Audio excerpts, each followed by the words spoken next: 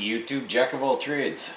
The common question I get in the shack is uh, that people see the solar system, so they look at the batteries and God, you know, you got a, just a huge mess of wires there. How do you uh, know what to do with them batteries and how, how do you hook it all up and how, how do you make a string of batteries? How did you make that? Well, I'm going to try and answer some of your common questions, um, some of the stuff that you should know about making a string of batteries. Um, a lot of it's very simple once you uh, get around some of the demystification here, and that's what I'm going to try and do. Now, I may miss something, I may leave something out, and I may not have everything perfectly correct here, but um, I've worked with batteries for a long time in the industry. Um, it's something that I do day in and day out, and these are just things that I've learned over time, and this is how I'm doing it, and this seems to be working very well for me.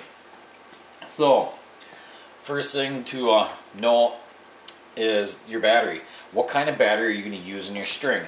Um, you need to pick a kind of battery and you need to stick with that kind of battery. So there's a couple of kinds out there that you should be familiar with. Uh, one is AGM, Absorb Glass Mat. One is gel, um, and it's just that. It's a gel electrolyte that is in between the plates. And the third, which is the most common, which is in generally in your car and in most um, larger appliances, uh, you know, cars, lawnmowers, things like that, um, is going to be your just typical lead acid battery. Now, you have some variations of that same lead acid battery and the gel and the AGM, but um, you have your starting batteries, which are a lead sponge plate. You have your dual purpose batteries that are less of a lead sponge and more of a heavier solid plate. And then you have your straight deep cycle batteries that are a solid lead plate or almost solid lead plate.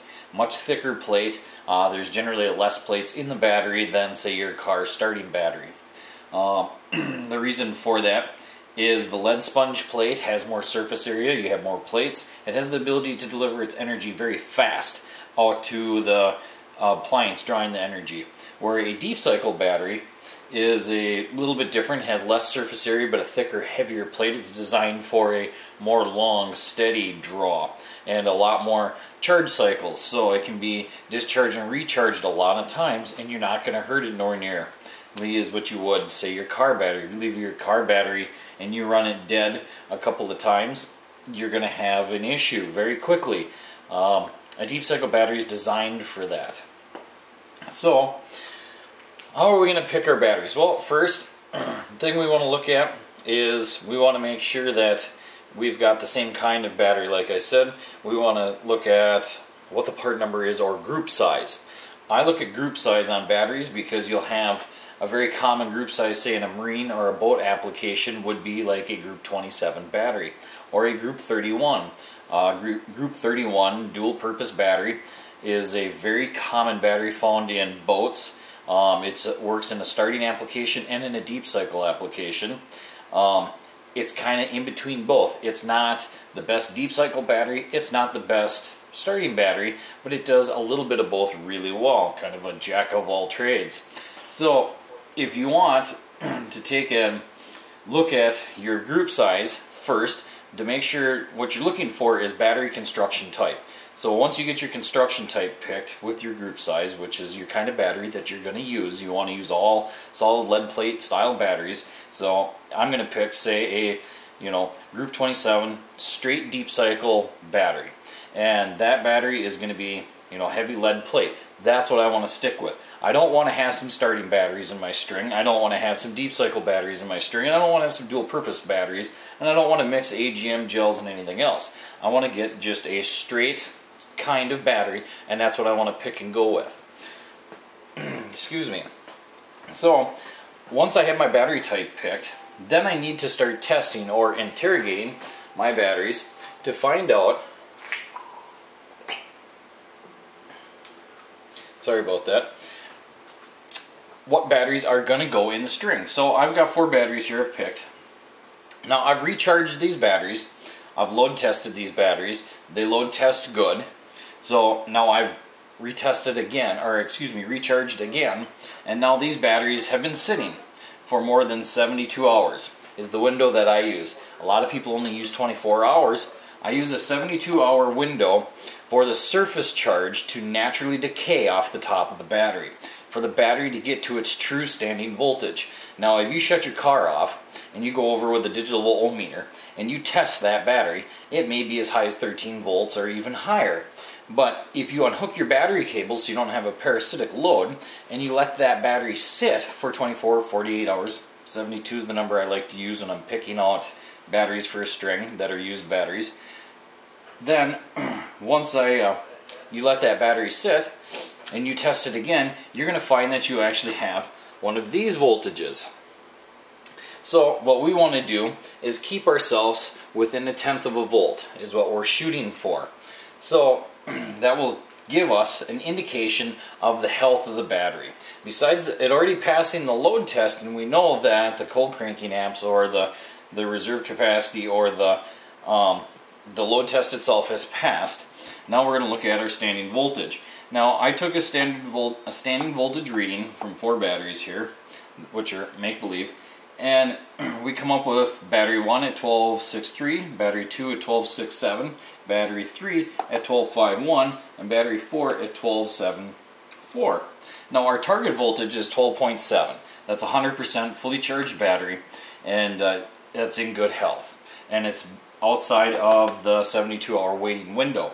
So now that we've checked our voltages, we can see that battery 3 its voltage is actually standing voltage is low. So we know that now this battery probably has sulfation growing on the plates, which is probably damaging a cell, or we have what I like to call a lazy cell in the battery. That cell is aged, it's decayed, or it's damaged. Somebody run the battery dead, or something happened to the internal construction of the battery, something's not quite right.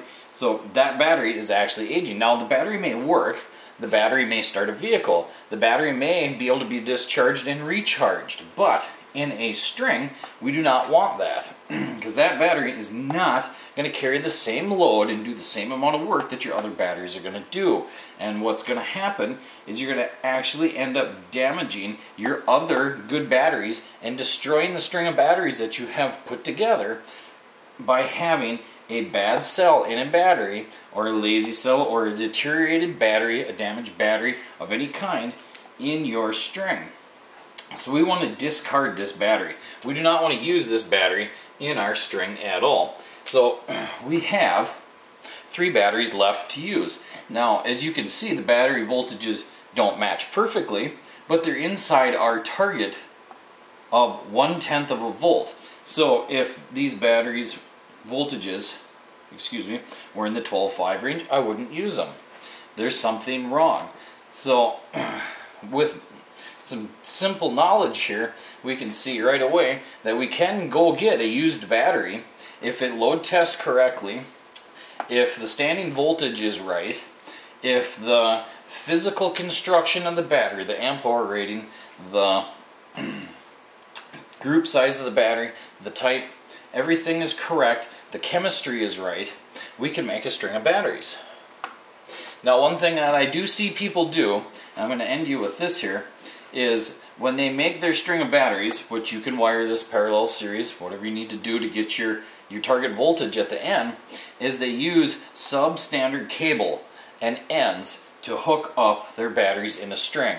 Now, I understand that you're probably using you know 10 gauge wire or less to hook up your appliances but when you hook your string together and you've got all these battery cells working together now many hands make light work and you want to lower the resistance between those cells as much as possible so you pull evenly across all of the cells when you're removing voltage to do that you want to use a very fine copper multi-braid um, battery cable, preferably like a zero gauge, aught gauge cable, heavy duty cable, a heavy copper bus bar, something that's going to have very, very low resistance. Um, welding wire works very good for your welder. You can go to a welding supply and you can pick up wire there and you can cut the cable.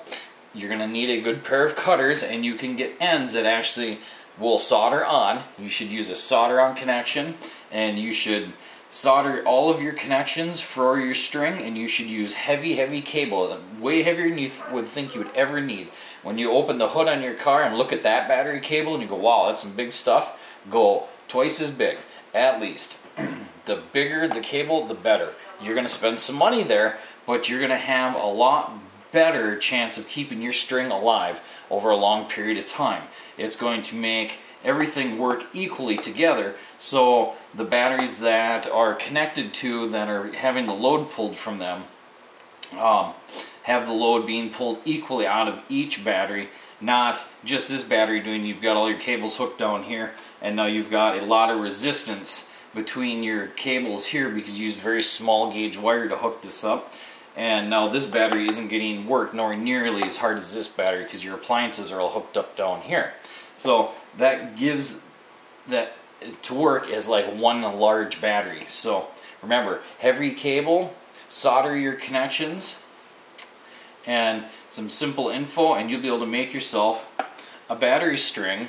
And if you don't have to buy all your parts new, if you want to use used parts, if you can find a whole bunch of used batteries from a truck shop or somewhere, that's where I've gotten a lot of my batteries. You can save some good money and you can get a good healthy string of batteries together that'll work and last for a long time and you'd be very happy with. Remember guys, if you like this information, go ahead and give me a thumbs up down at the bottom. Share this with your buddies and uh, if you want to see more videos like this, remember to subscribe. Thanks, have a good night. Jack of all trades.